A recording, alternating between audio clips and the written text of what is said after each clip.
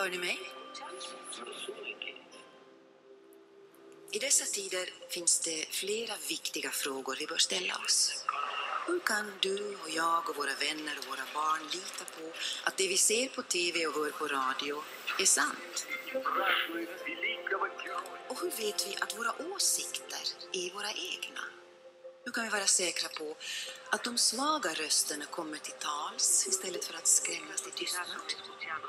Jag kan tala om hur. Det finns en människa vi kan tacka för allt detta.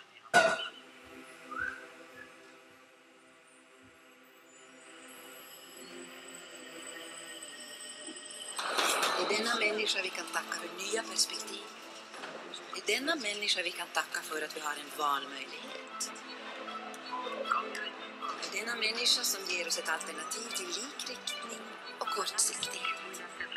Det är denna människa vi kan tacka för att en vanlig dag kan bli en stor dag.